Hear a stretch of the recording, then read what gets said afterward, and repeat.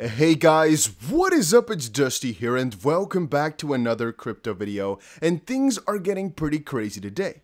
Here's for example one thing that's happening today that everybody in the crypto space is watching for or scared of or something along those lines. So if you're wondering what I'm talking about, I'm talking about Pelosi's visit to Taiwan.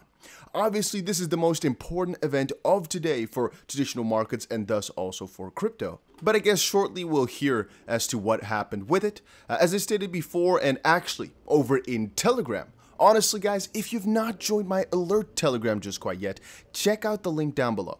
Go look down below at DustyBC Alerts or something like that. Join it. I have a couple of very important updates in there that I highly recommend you guys to go ahead and check out. Also, if you're enjoying these daily videos, make sure you press that like button. And to kind of go on, this visit is rather important for reasons I don't want to go too deep into over on YouTube. Let's just say that it's a highly controversial meeting. The markets can move pretty significantly because of anything surrounding it, and we'll have to see. But if we go into what I actually wanted to talk about, this article puts the two things together though. Um, regarding Ripple slash XRP, as you guys know by now, Ripple is in a lawsuit with the SEC, and everything that's happening in that case is mostly determining where the price goes. In other words, depending on what happens in the case, it'll most likely affect the XRP price. In a sense that if there's some crazy update that's really bullish for Ripple, in the case, well, most likely the price could do good, or at least there's a higher likelihood of winning, so people are pricing it in piece by piece, for example, over the next couple of weeks, for example. Because we've seen before that even though Ripple has a great victory, the price didn't shoot up, and even though the SEC had some sort of small victory in the lawsuit, the price did not drop. But I think we'd all conclude that if Ripple eventually wins the case, that's most likely going to be some crazy pump for uh, XRP. I honestly expect it to be crazy. Right now, if you're wondering what we're waiting for, we're waiting for the William Hinman documents and what the judge is going to say about that. Uh, actually, it says here, while geopolitics are in spotlight, SEC v Ripple case remains the key driver. Investors await a court ruling on the SEC objection via the, the William Hinman speech-related documents. Well, to be honest with you, uh, this whole situation of the William Hinman documents is honestly pretty crazy it's been like so ridiculously long just to see what the uh, the people at the SEC were thinking of a speech. It's like, man, give it up already. The reason that they're doing it so meticulously, you know, trying to defend it in any way, shape, or form, leads me to believe that they have some critical stuff in there. And I honestly think Ripple's going to get it pretty soon, though. Because the judge basically already said, yeah, give it over. And the SEC is cost of what it costs trying to protect these documents, which is kind of sketch. There's actually something else that's interesting. John Deaton fumes at Twitter poll that excluded Ripple from the list of top cross-border payment options. so, as you guys probably know, Cointelegraph is kind of garbage when it comes to, um, I guess, properly categorizing crypto or proper questionnaires, I guess. Cointelegraph said over on Twitter, What's your preference for cross border payments? Bitcoin, stablecoins, traditional banking, and other. Now, in my own opinion, this is fine because they just asked what's your favorite, and it's not Bitcoin, not stablecoin, not traditional banking, it's other. And that's obviously the section that got the most votes. So I'm not really sure exactly why John Deaton could be angry with it. It's just kind of stupid because obviously XRP is meant to be this cross-border payment token. So it's kind of strange that they did not include it in the list. However, at the end of the day, they did say other. It's not as if they only gave four concrete options but yeah, it's, it's kind of crazy, I guess. It, it's, it's just in the sense that Cointelegraph has always been kind of against Ripple, or at least not for XRP or the community or anything like that. It's just kind of like, oh, again, huh? Again. Also, interesting. 172 million XRP got transferred between exchanges and unknown wallets as Ripple locks 700 million XRP back into escrow.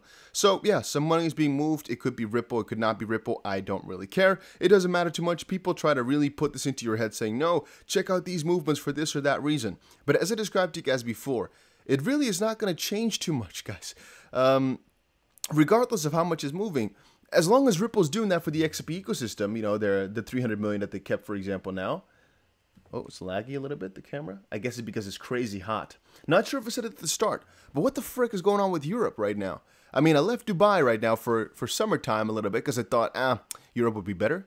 This is awful. Because in Europe, not every home is built with AC, you know? And fun fact, I'm going back to the Middle East uh, very shortly here. It's going to be interesting. You guys will see it over on my Instagram. But I digress. Whenever Ripple moves money, for example, it's usually to better the XRP Ledger ecosystem, or I guess uh, something along those lines to help out an ODL customer, or as we've seen before in the Q2 report. It could also not be Ripple, but at the end of the day, movements like this, whale movements, uh, uh if you asked me a year ago, I would have said, no, follow that, check it out. Right now, I'm like, well, we've seen a dozen, thousand of these and I can't really derive anything from it. I can't say like, oh no, whenever this happens, that means that this. Anyway, let's continue on actually.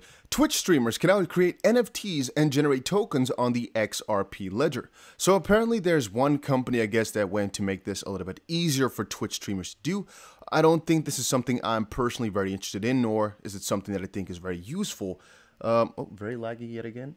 But I guess it's, uh, it's something, you know, for XP Ledger. Yeah, it's something. It's something, I guess. You already saw it at the bottom just now, but Ripple awards DEX application developers. Okay, I'm turning that camera off. I'm done with it. Ripple awards DEX application developers $100,000 in uh, XRP Ledger grants, which is crazy. The new third wave is uh, is coming along, and basically these guys are getting a lot of freaking money to develop on the XRP Ledger ecosystem. As I stated before, right? Uh, Ripple is spending a lot of money on on making this a big success. Obviously, every single crypto out there does it. Um, for example, I think set up a $5 billion fund. But let's just say it like this expansion is here. If you're not part of the XP Ledger ecosystem, get left behind. No, but in all seriousness, there's a lot more happening than people are noticing or people are exposed to if you're just, you know, watching XRP on a on a flat basis. There's a lot happening in the background. Here we have one another, uh, one of the other ones. Hundreds of millions of XRP transactions pop again as Ripple address raises stakes. Nothing too special, nothing too crazy, nothing too important. Here's again another one of the same. Ripple moves 100 million XRP. In total, 224 million XRP was moved around exchanges and unknown wallets in the last 24 hours. Means not so much. Again, normally this is like, okay, going from exchange to unknown wallet. That means they're actually taking money off of the exchange, meaning there's lower selling pressure now. But it's vice versa because here you can see, okay, unknown exchange to unknown wallet to Bitstamp means this is um, theoretically speaking, a deposit, which should be derived as something bad, but you don't really know exactly what they do when they deposit it or withdraw it.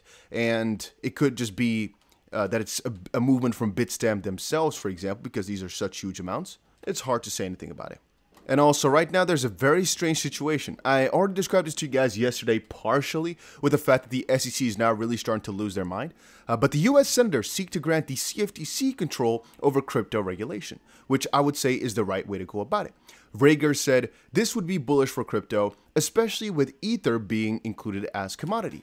Um, a new bill that would give the CFTC oversight over Bitcoin and Ether has been unveiled the bill would deem Bitcoin and Ether as commodities. And well, even though it's not, you know, inclusive of Ripple, for example's XRP just quite yet, it's a start from somewhere. Okay, you know, we also had a couple of other nice bills, right? Like the the fifty dollar or below crypto transactions would be tax free, which to me is very confusing. Does that mean if you keep, you know, doing a ten thousand fifty dollar transaction, that means you're you know cashing out tax free? Then is that is that how it works? Because that means like it's the easiest way to get out of capital gains tax, right? If anything below fifty dollars does not constitute as that, because what if you make hundred thousand transactions of fifty dollars? What then? Or if you buy fifty dollars worth of cash vouchers, for example, how does that work? And again, the confusion is earning less than fifty dollars. Does that mean on you know what exactly? In late July, Pennsylvania Senator Patrick Toomey in Arizona, blah blah blah, proposed a bill that will prevent Americans from reporting crypto transactions earning less than fifty dollars. So if you deposit a dollar, makes 50 bucks, you know, theoretically speaking, right? Every single time, 49. You're always fine. You don't have to report that. Because that's kind of strange, no? But yeah, regarding that the CFTC was going to take over, I wanted to kind of couple it back to this one. Coinbase ex-manager pleads not guilty to insider trading charges. If you guys remember, right, the SEC went after Coinbase and the ex-manager here who has been, um, you know, basically charged for insider trading. I think it's rather interesting to see that in their trial for insider trading, it was said like, oh, but you also traded all these unregistered securities and whatnot, and that because of the way in which they did it, the companies that are being quote unquote charged, or I guess alleg- allegated or whatever, they can't really defend themselves properly because this individual has to defend for them. He has to say like, "Oh no, those weren't securities." The companies themselves are just like standing on the sideline thinking, you know, what what what happened? I'm not sure how that would work in terms of suing the SEC for misstating something about your crypto or a counter lawsuit or something like that. I honestly don't know exactly how that would work. What I do know, though, and what I do realize, is that if you start to think about it, crypto is in such an infancy state Just the fact that all these new things have to be, I guess, taken care of still. You know, we're at the start of the start of the start with all of this. There's not even a clear rule as to who exactly rules over it. It leads me to believe that the SEC is just trying their luck to get control, but other parts of the US and other senators, luckily, are also like, nah, it's not under the SEC's control because why would it be? You know, the CFTC has logical authority over it. You can't say, no, the SEC should have control over crypto because some are securities, for example. No, that would mean that the CFTC has normal control and some specific things don't fall under the CFTC but under the SEC because those might constitute as securities. It's not, not everything should fall under the SEC's uh, bracket. But I guess because crypto is not necessarily a commodity in some people's opinion, not really a currency in some people's opinion, not really a security in some people's opinion, but it kind of is all of them to some people, that is.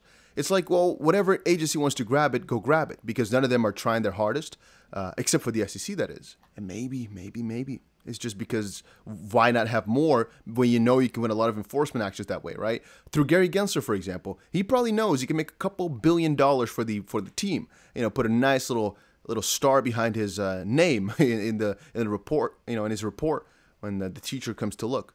Oh, Gary, you get another star for good uh, good good lawsuits. You know, and thanks for getting another five billion dollars out of those crypto guys. Yeah, if you think about it, that that might be what exactly they went for, so to speak and it's kind of crumbling apart piece by piece as nobody's trying to take their BS.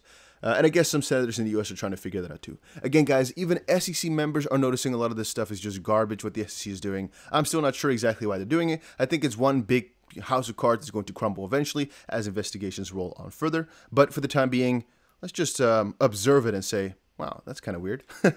Within a couple of months, though, guys, I think, nah, nah, let's say a year. Within a year, I think a lot of this stuff will be fixed. Right now, crypto reg regulations are being set into place, and I think within a year from now or so, we'll be so far, as most likely the Ripple lawsuit will be over. A lot of these cases which we're seeing right now will be fixed, and the definition, it probably can't wait another entire year, right?